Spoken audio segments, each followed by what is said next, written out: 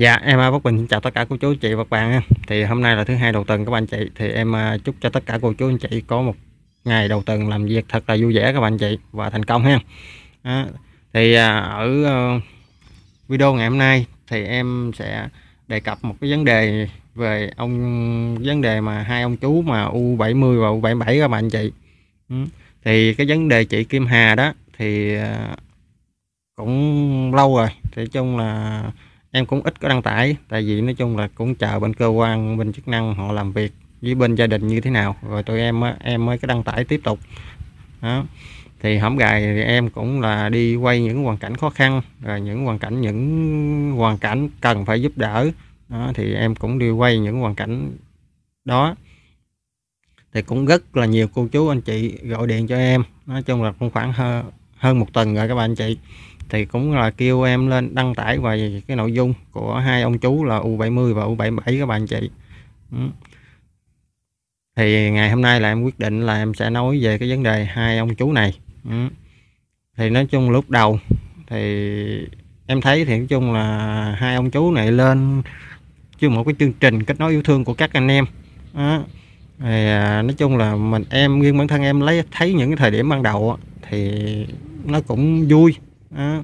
thì cũng như là ờ, hai cái ông chú này cũng là lớn tuổi rồi, thì nói chung là cũng ờ, một thân một mình. Đó. Thì lên tìm một người bạn già để mà hữu hỉ về sau, thì nói chung là cũng rất là vui các bạn chị. Thì ờ, những clip đầu em theo dõi thì em thấy vậy, nhưng mà thời gian sau này thì chung là em theo dõi càng ngày càng viết nó câu chuyện thì nó nó không như mà cái cái em suy nghĩ ban đầu nữa thật chất nói chung là cái chú mà U70 đó thì nói chung là chú là buôn bán nè nó lề đường để kiếm tiền để nuôi sống bản thân hàng ngày đó. thì cái ông chú còn cái ông chú bà 77 á, thì gia đình khá giả hơn con cháu đầy đủ đó. thì à,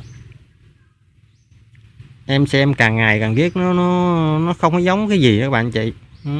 thì đối với cái ông 77 á thì cũng lên một cái chương trình mà kết nối yêu thương rồi gặp cái cô dân gì đó rồi à, làm đám cưới rồi rồi cô nói cô bỏ đi đó. thì nói chung rồi à, lên chửi cô là lường gạt này kia thì em nói với chị nè em nói cho chú gia đình của chú này biết luôn thì khoan nay khoảng cũng khoảng khoảng 10 ngày các bạn chị thì em vô tình em có coi được một cái clip một cái anh nào đó lên nói diễn về uh, ông chú 77 này. Ừ. thì cái bắt đầu là xem được cái clip mà bên gia đình của uh, ông ông ông chú 77 thì yêu cầu anh này gỡ clip nó xuống thì nếu không gỡ thì anh kiện uh, gia đình kiện anh này. Uh, thì em thấy thì nói chung là chú bị lường gạt thì cũng tội đó. thì em thấy lâu dài coi lâu dài viết rồi em thấy cái cái cái vấn đề của ông chú này nó có, có cái vấn đề ở đây đó. thì, thì cách nay mấy ngày thôi hai bữa nay thì uh, các anh em cũng đăng tải quay quay hình rồi đăng tải à, ông ông ông ngoại 77 này đó. thì có những cô à, nói chung là không biết là những cái cô này có thiệt lòng với chú hay không. Đó, thì cái đó vấn đề đó thì em chưa có biết. Ha. thì cô này ở Kiên Giang An Giang Long Xuyên rồi Bình Thuận nói chung là các cô điện cho chú. Đó rồi bắt đầu là chú kêu mấy anh em YouTube chở chú đi. Thì cách này hai ba ngày đó là chở cô đi à, chú này à, đi ra đâu Khánh Hòa hay đâu đó đó, Khánh Hòa Bình Thuận gì đâu đó ra một cái cô nào đó. Ừ, để mà gặp gỡ. Đó, rồi nghe đâu là khi mà đi đó đi gặp cái cô đó xong rồi về qua Long Xuyên à, gặp một cô ở ở ở bên Long Xuyên nữa các anh chị. Đó, thì nói chung là cái câu chuyện của mấy ông chú này em nói thiệt thì nói về chú nghĩa thì em không nói nữa. Em nói về cái chú ông 77 này thôi khi mà con cái cháu của ông chú á, thì cũng có đông đó. mà khi mà ông ngoại đã ông ông chú bảy bảy lên trên cộng đồng đã bị người ta chỉ trích nè rồi à, à, bị lường gạt như này nè thì thôi về nhà con cháu mình xúm lại khuyên ông à, thì đã lỡ bị một lần rồi mình cũng rút kinh nghiệm thôi đi à, ba ơi hay là ông ơi gì đó. Thì ở nhà chơi với tụi con tụi cháu cũng vui rồi. Đó. Ờ, buôn ba như vậy chi mang cái tiếng ha. Thì đâu không khuyên. Còn ngược lại nghe cái chú cái anh nào nói về ông ngoại thì đòi kiện. Đó. Thì hai ba bữa nay bắt đầu là có cô nào ở đâu ngoài Khánh Hòa Bình Thuận gì đó à, à, gọi cho ông. Đó, bắt đầu kêu mấy anh YouTube. Chở ông từ Sóc Trăng đi ra tới ngoài đó đi bằng xe máy. Rồi ra ngoài không biết được làm được cái gì hơn bắt đầu mang tay mang tiếng nữa nè. Ừ, rồi cái đầu nghe nói là về là xuống Long Xuyên nữa gặp cô nào đó nữa. Em nói thiệt con nói thiệt cái ông á thì mình là lớn rồi có cái tuổi rồi. Mình phải làm cái bật cái gương cho con cháu mình sau này nữa nữa mà ở đây thì con cháu thì không khuyên ngăn ông mà còn lại trải đường cho ông đi nữa. À, thì mỗi khi mà lên gạt bị gạt bị người ta gạt rồi lên chửi lên lên lên chửi người ta chửi trên cộng đồng mạng chửi các các cô phụ nữ. Nói là các cô phụ nữ là, là loại người này loại người kia rồi gạt ông già. Tại ông già ham hố quá mà gán mà chịu thôi. Em nói thiệt em thấy mấy anh mà youtube mà chở ông 77 là đi ra bình thuận em nói thiệt nó một câu y như là nói câu nó khó nghe, y như là dắt đi mà để mà duy trì nội giống vậy đó. Em em nghĩ là nói chung là các cô chú chửi em em chịu, em nhỏ, em hổn người lớn, nó chửi em chịu, nhưng mà em nói đây là sự thật.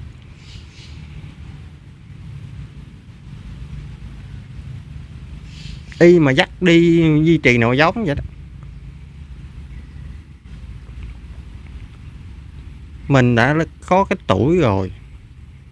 Ừ. Mà ngược lại con cháu không khuyên ngăn ông mà lại động viên trải thảm cho ông đi. Cái ông đã bị gạt một lần rồi. Ừ, rồi đôi đòi thưa kiện người ta. Mình ngu mình chịu. À, mà thưa kiện ai nữa? Có bằng chứng gì để thưa kiện người ta?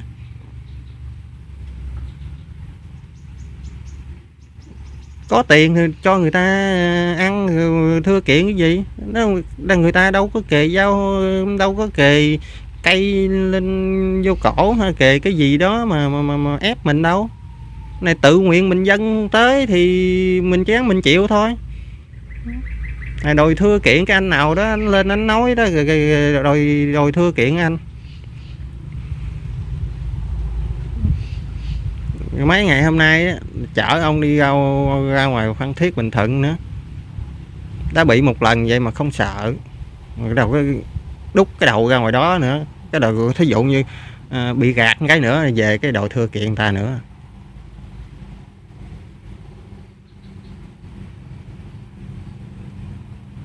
Còn mấy kêu mấy anh youtube mấy anh gì youtube nào thấy đi đâu cũng đông lắm. Ừ, dắt đi y như mà dắt đi duy trì nào giống vậy đó. Mình lớn cái con nói thiệt đối với chú thì à, con không nói mà đối với các con các cháu chú mà thấy vậy mình cũng phải khuyên ngăn ông chứ tự nhiên để ông như vậy rồi trên cộng đồng mạng người ta chửi chửi ông là tội cho ông nữa.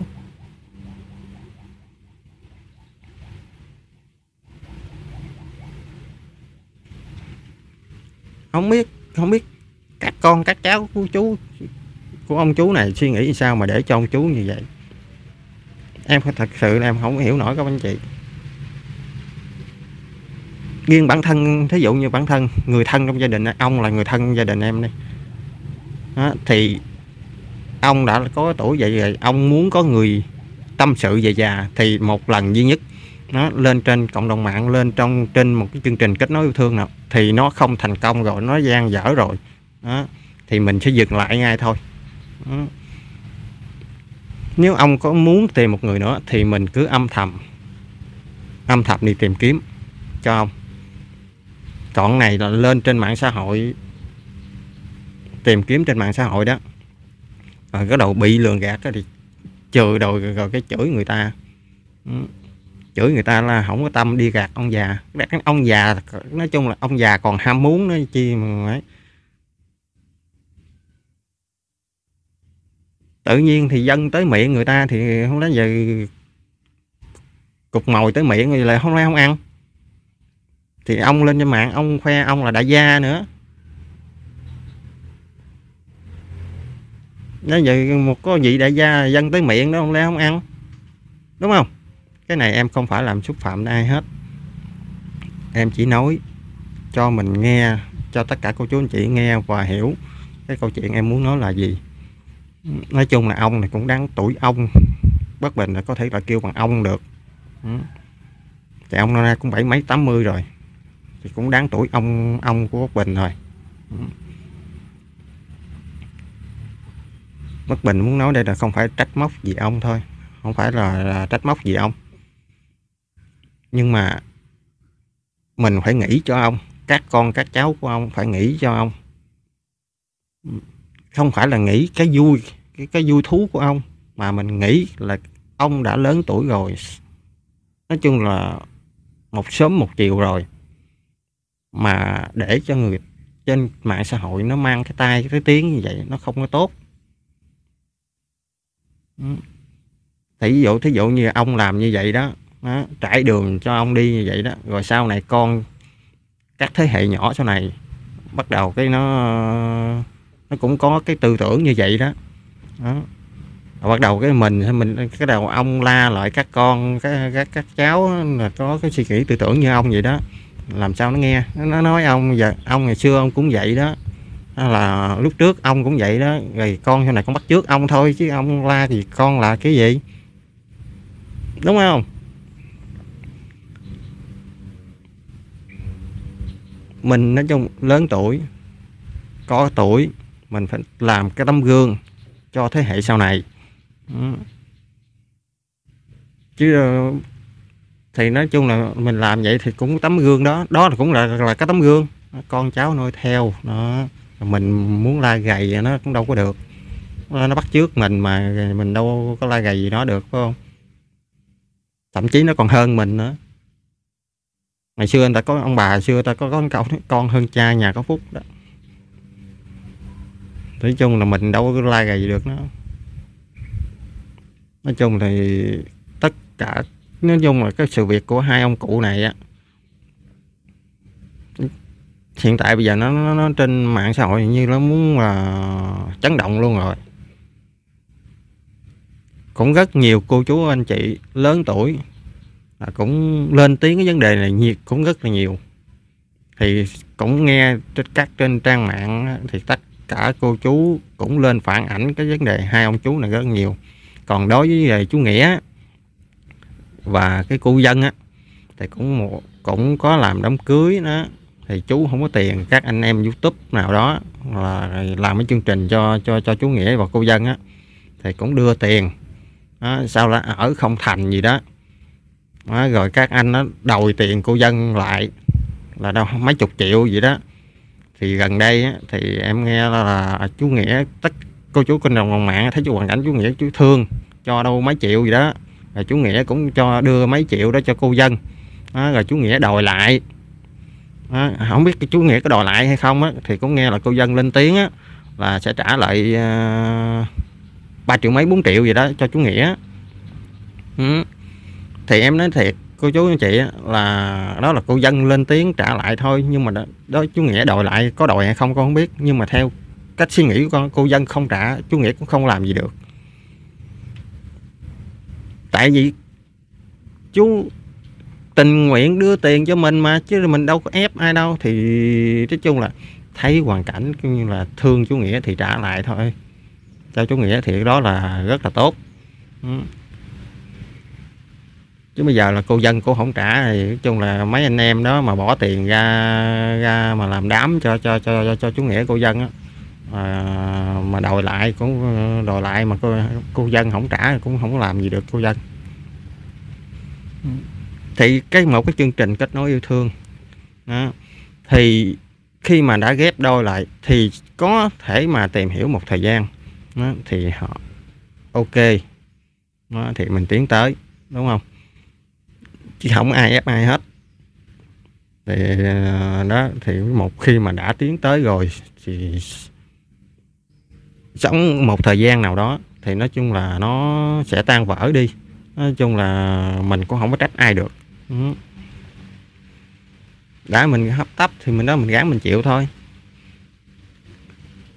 Thì ở video này á, thì bất Bình cũng muốn lên chia sẻ những cái video đến tất cả cô chú anh chị, thì từ sắp tới đây thì Bắc Bình sẽ nói về cái vấn đề này thì Bắc Bình không phải là nói về vấn đề cô chú ờ, U70 và và U77 này không phải là chỉ trích hai chú đó. thì Bắc Bình sẽ chia sẻ mà chia sẻ hết hai chiều đó. thì nói chung là Bắc Bình sẽ để số điện thoại đó lên đó. thì mỗi một người cái ý kiến thì Bắc Bình sẽ muốn chia sẻ về cái ý kiến của hai chú này và các cô á, thì à, ý kiến như thế nào thì Bắc Bình sẽ đăng gọi cho Bắc Bình Bắc Bình sẽ đăng tải lên ha. còn ai mà muốn cô chú nào mà muốn muốn tích phản biện về hai chú này thì Bắc Bình cũng đăng tải đó là muốn nói tốt về cho hai chú này Bắc Bình cũng đăng tải. Thì Bắc Bình là nói chung là là người mà đứng kẻ giữa trung gian chia chia sẻ là chia sẻ lên hết. Chứ mà không có binh vực ai hết. Ừ. thì nói chung là nếu mà cô chú nào mà không có lên phản biện lại uh, những lời nói của uh, các cô chú kia hay là gì đó nhưng là lên một một phía mà lên chỉ trích chú rồi một phía mà lên binh vực cho chú á. Thì nói chung là hai bên bất Bình đều đăng tải lên hết chứ không phải là lên chỉ trích không hoặc là binh vực không. Thì ở video này thì Bắc Bình sẽ thông báo cho tất cả cô chú anh chị. Thì em sẽ ờ, tiếp nhận ý kiến của các cô chú anh chị là nói về cái vấn đề này. Thì Bắc Bình sẽ đăng tải về vấn đề này. Thì ở video này thì em chỉ lên nói cho tất cả cô chú anh chị biết vậy thôi. Thì cái vấn đề của ờ, chị Kim Hà thì nói chung là tụi em sẽ hạn chế đăng lại khi mỗi có thông tin gì mà gia đình cần chia sẻ lên thì em sẽ tiếp tục chia sẻ lên. Còn khi mà có kết quả điều tra của bên cơ quan chức năng á, thì gia đình muốn muốn chia sẻ lên và thông báo đến tụi em thì tụi em sẽ đến quay và chia sẻ lên. Thì à, ở video này thì em xin tạm dừng ở đây các bạn chị. Xin chúc tất cả cô chú chị à, có một ngày đầu tuần làm việc và thu vẻ à, và thành công. Đây, thì em xin chào gặp lại à, chào và tạm biệt tất cả cô chú anh chị. Xin hẹn gặp lại tất cả cô chú anh chị ở video sau của Bình ha. Dạ xin chào.